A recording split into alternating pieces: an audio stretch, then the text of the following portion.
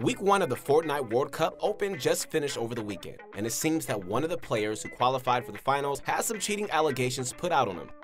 It's completely possible that he is legit, and his name is unjustly being dragged through the mud right now, so let's try to find out. Today, we're going to be looking at what evidence there is against Dubs to decide whether or not he was cheating during the World Cup.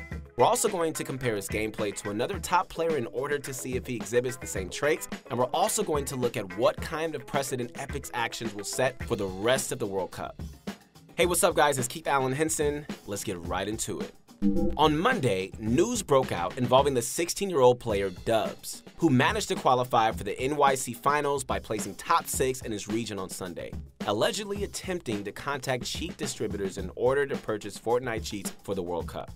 With so much money on the line, it's perfectly reasonable that there would be individuals attempting to gain an advantage, even if an illicit one for monetary gain.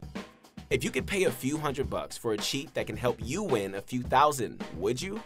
The simple fact here makes me think that this won't be the only cheating scandal to come out of the World Cup as it continues in the coming weeks. So, what evidence no, was there? Bro. Basically, a bunch of screenshots were being shared of dubs on a cheating forum as well as in Discord DMs with the distributor asking for Fortnite cheats.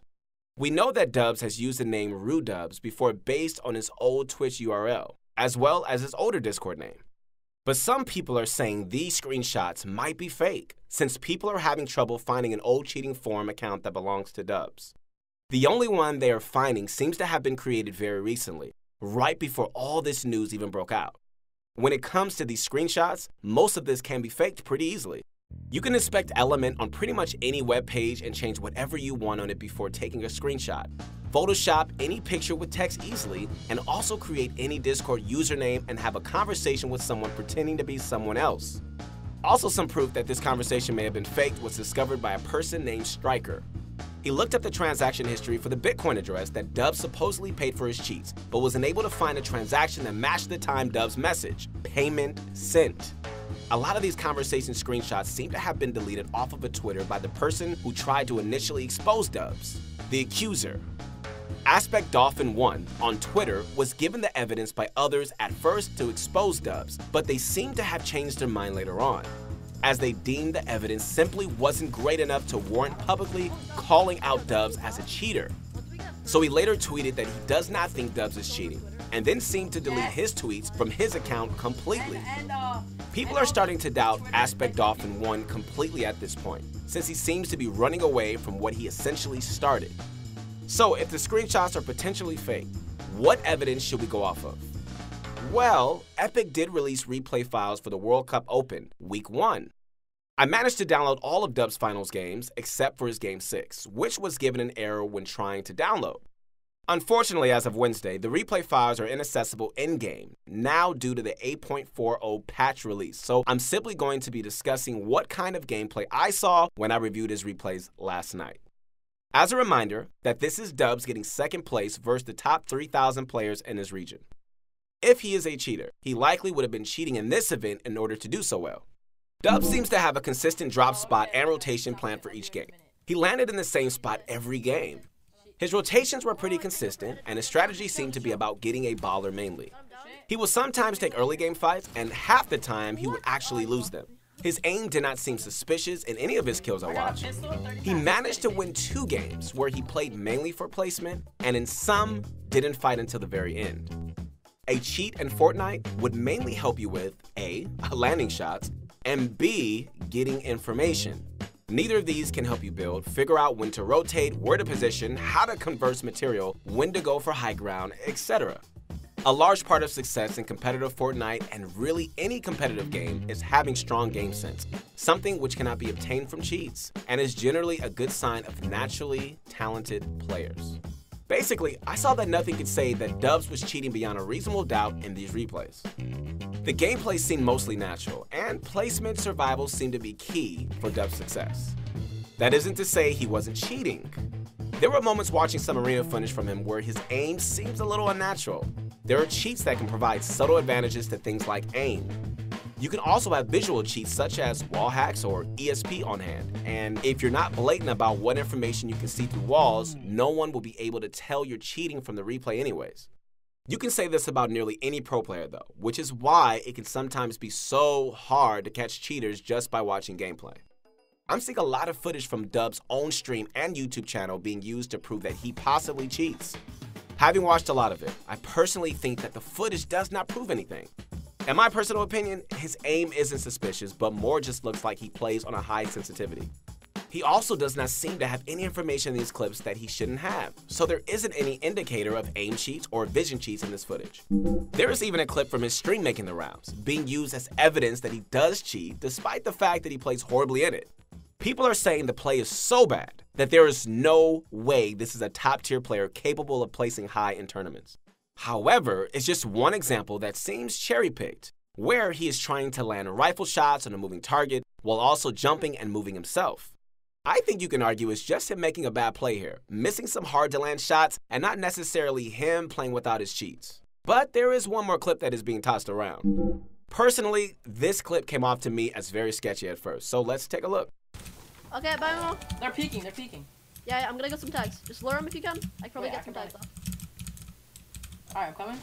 It seems that Dubs knows that his opponents two houses down are pushed up to the roof and are peeking, despite no info on his screen indicating so. He seems to figure it out through the wall. To me, this is pretty suspicious, since I can't see any indication that Dubs knew they were about to show on the roof. However, the clip does start with him knowing there are opponents at the house because his teammate calls it out. Yo, right here on top. on top. Is there people over there? Yeah. Okay, I'm stacked. We can just, we can fight. He may have accidentally thought he spotted them on the roof, called it out, they were Yeah, yeah, I'm peeking, gonna get some and just happened to get lucky. can. I can probably get- Either way, it would be completely unfair to come to a decision on the matter just based off one sketchy looking clip. As of doing this, Dubs has, for the first time since the drama started, turned on his live stream to play some duels with his partner. He is using a hand cam in an attempt to dispel aimbot accusations, playing customs with some pros. So far, everything looks legit, and his gameplay doesn't look bad at all. So, how does Dub's play style compare to another top tier player? Let's compare him to Mongrel, another player who seems to have dominated in both the dual and solo leaderboards of recent tournaments. For the Week 1 solo finals, Mongrel played a bit more aggressively than Dubs did, getting most of his points from eliminations. Mongrel's points were 52% from eliminations and 48% from placement. Comparatively, Dubs had 32% of points through eliminations and 68% from placement. Even compared Dubs to other players in the top 20 for NAE, it seems that Dubs had the second highest percent of points earned from placement at 68%. While none of this really proves or disproves anything, one thing that could be asked is why he would play passively if he is using cheats such as an aimbot. I would honestly expect to see a higher percentage of points earned from eliminations if a player is using hacks. Looking at them as teammates in the duo format, both Dubs and Mongrel play in a pretty similar manner.